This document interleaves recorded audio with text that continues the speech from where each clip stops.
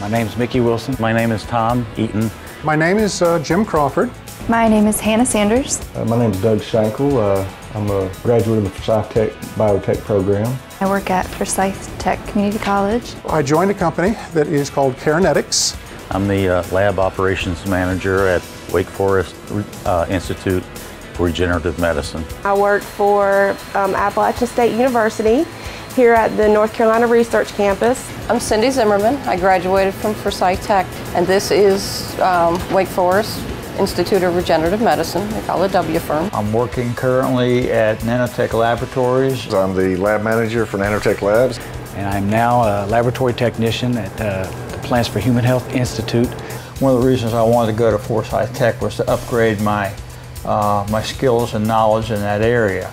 We do, in the biotech pro program, you do a lot of hands-on. So you're using the equipment that you're actually going to be using in the field.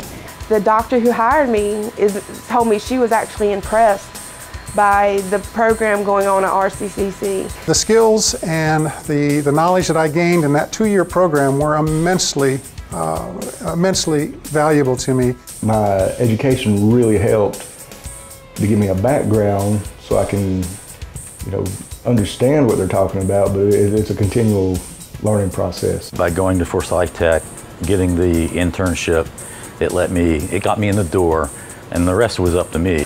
I knew that I was prepared for anything that came our way. I love it. I love working here. We have a variety of things that we work on. I guess you could say that uh, it's never boring.